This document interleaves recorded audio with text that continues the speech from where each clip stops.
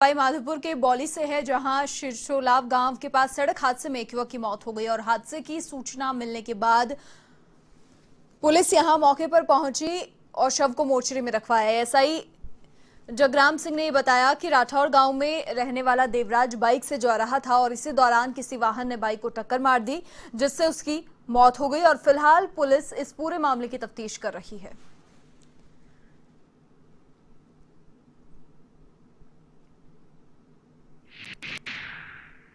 सूचना मिली थी कि भाई सिसोला के पास एक एक्सीडेंट हो गया है। तो वहाँ मौके पर गए तो एक देवराज नाम देवराज सनोप चिरंजी लाल गुजर ये नीमो राठौड़ का रहने वाला है जो मौके पे मौत हो गई जिसकी कोई अज्ञात वाहन से टक्कर मारना बताया जिसको यहाँ पर लाए हैं। पोस्टमार्टम करवा दिया है और लाश घर वालों सुमेरपुर में पटाखा व्यापारी एसोसिएशन ने मुख्यमंत्री के नाम उपखंड अधिकारी देवेंद्र कुमार यादव को ज्ञापन सौंपा है और इस ज्ञापन में बताया गया है कि दीपावली पर्व पर पटाखा आतिशबाजी पर प्रतिबंध लगाया जा रहा है, जबकि कोरोना और लॉकडाउन के कारण उनका धंधा चौपट हो चुका है। व्यापार बंद होने के कगार पर पहुँच चुका है और ऐसे में दीपावली त्योहार पर होने वाली पटाखा बिक्री से काफ़ी आशाएँ हैं। राजस्थान में पटाखे दीपावली बैन किए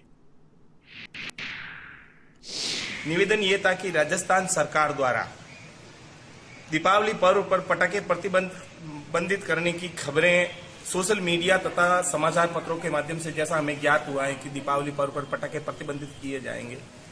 हमने इसका कारण पूछा तो कहते हैं कि कोरोना के जो रोगी हैं, उनमें अस्थमा की प्रॉब्लम होगी और रोग बढ़ेगा। श्रीमान से मेरा निवेदन ये था, मुख्यमंत्री साहब के नाम ज्ञापन एसडीएम साहब को हमने प्रेषित किया है।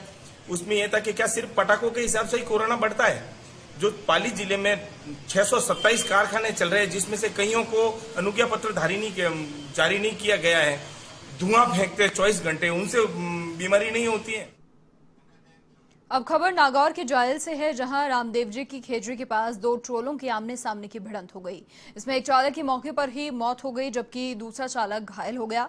और सूचना के बाद पुलिस मौके पर पहुँची और घायल को अस्पताल में भर्ती करवाया, जहाँ से उसे जिला अस्पताल रेफर कर दिया गया। और फ़िलहाल पुलिस इस हादसे की जाँच कर रही है।